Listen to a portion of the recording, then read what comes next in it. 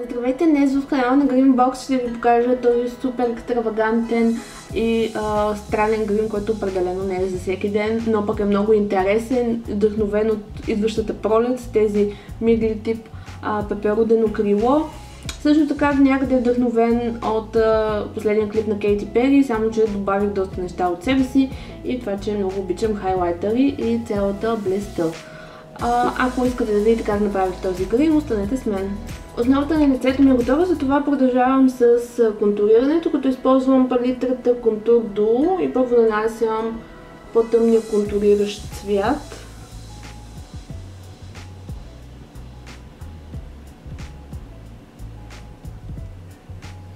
Със същата четка нанасям ружът Peach, който е в красив прасковен цвят. И завършвам с хайлайтера от контуриращото долу.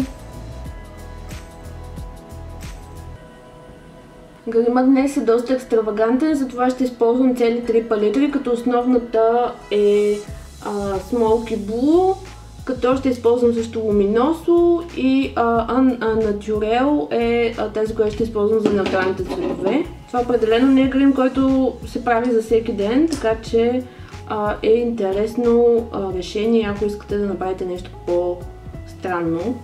Започвам с базов бял цвят от Луминосо, като използвам цвета номер едно на целия клепар с голяма пухкава четка. Това е цвета, който ще използвам за база. Със същата четка нанасям цвят номер 2, който е ярко жълт в сгъвката.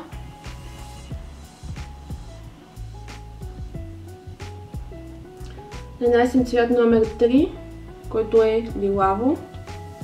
Много сгъвката. Но малко в по-външната част. Просто като нюанс за преливане. Това ще ни е основният цвят за преливане. Акцента днес е синьото от палитрата Blue Smoky. Нанасям го с плоска четка. Ще използвам хидратиращия спрей като основа, за да направи нашите сенки по-лепкави. Така и цвета ще стане много по-интензивен. При нанасянето изтеглям навън почти до веждата. Ей така трябва да ни стигне цвета.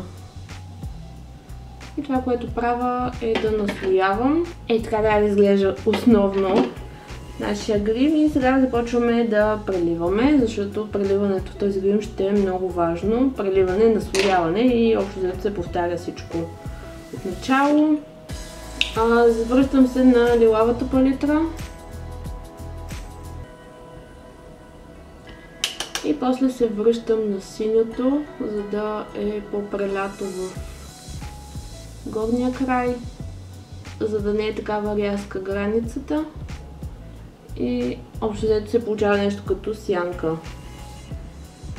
Само, че малко по-високо от сгъвката на окото ни, не е там където би трябвало да е, а е по-нависоко. И после пак с синьото ще използвам перлен бял цвят като акцент в предната част на окото и под веждата. Същия цвят ще използвам като хайлайтър. Центъра ни е носа. Това е цвят номер 1 от палитрата Smoky Blue. Ще изчиста малко линията с мокра кърпичка.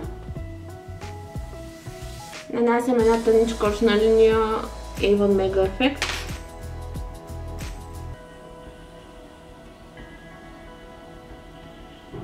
С маничка четка за детайли използвам тъмно син нюанс в а, съвсем основата на очната линия,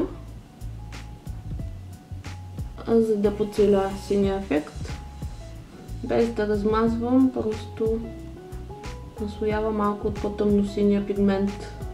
Под очите ще нанеса първо бял молив, който ще използвам като основа И всъщност мога да го използвам за да подсиля опашката, за да я подчертая да изпъкне повече. Просто изтеглям и така бялата линия. Ще сложа съвсем малко спирала, колкото да подготвям иглите за изкуствените.